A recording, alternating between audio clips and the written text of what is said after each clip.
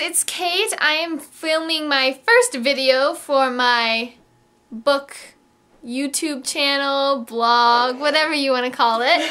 And I'm going to dive right in by reviewing the Mortal Instruments City of Bones official illustrated movie companion.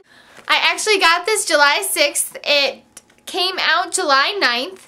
My bookstore had physical copies on hand and decided to give me one early, which thank you Barnes & Noble.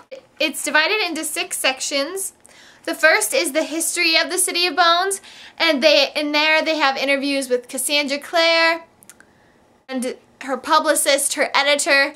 They talk about how she got the idea for the whole Shadowhunter world, which I thought I loved that. I thought that was great. And they also talk about everyone else's reaction to reading the novel, how the movie really came about, and different stuff like that. The second section is the cast of the City of Bones, and this really cleared up any casting concerns or issues I might have had, and it probably will for you too because the director speaks so highly of the cast and Cassandra Clare speaks so highly of the director. And she says the director is a firm believer in the characters. He fell in love with the characters first, not the world.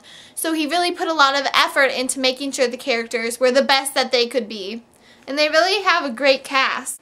Three is the places and props of the City of Bones. And this was probably my favorite section because, oh my gosh, ah, the places Oh my gosh, the settings, they're amazing. My favorite one would have to be the City of Bones itself because there's so much detail put into it and I can't believe it. It's amazing.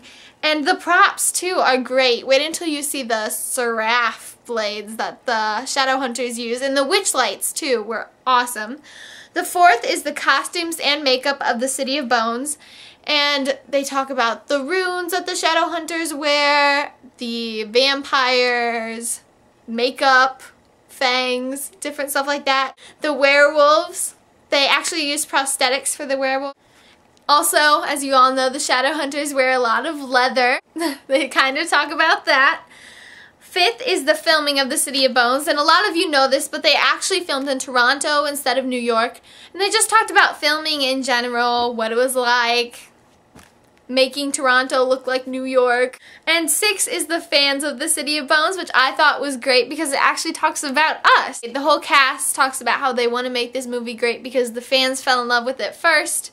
Cassandra Clare talks about how great her fans are, different stuff like that. So I definitely recommend this book to anyone who loves the Mortal Instruments, Cassandra Clare, stuff like that. People who are looking forward to the movie and who are a little hesitant about the movie because I feel like this will really clear it all up for you guys. And I loved it. It was $18.99, but I think it was worth the money. And it's a nice addition on your bookshelf. So I definitely recommend you get this. And I'll see you guys next time. Thanks for watching my first video. Bye!